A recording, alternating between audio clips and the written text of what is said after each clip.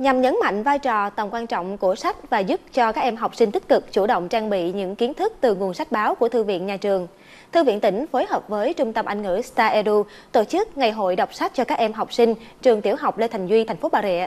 Ngày hội đã thu hút hơn 1.100 em học sinh tham gia. Ngày hội đọc sách với chủ đề Quyển sách tôi yêu diễn ra tại trường tiểu học Lê Thành Duy, thành phố Bà Rịa có nhiều hoạt động sôi nổi ý nghĩa như trưng bày sách, đối vui kiến thức về sách, đối vui kiến thức về truyện nước ngoài bằng tiếng Anh. Các em học sinh còn được tìm hiểu cách đọc sách hiệu quả và tham gia các hoạt động vui chơi giải trí hấp dẫn khác. Ngày hội đọc sách được Thư viện tỉnh phối hợp với Trung tâm Anh ngữ Star Edu tổ chức nhằm tôn vinh các giá trị của sách, khẳng định vị trí, vai trò của sách trong đời sống xã hội, đồng thời khuyến khích phát triển phong trào đọc sách hướng tới xây dựng xã hội học tập. Dịp này, Trung tâm Anh ngữ Star Edu đã trao tặng 20 suất học bổng cho các em học sinh trường tiểu học Lê Thành Duy.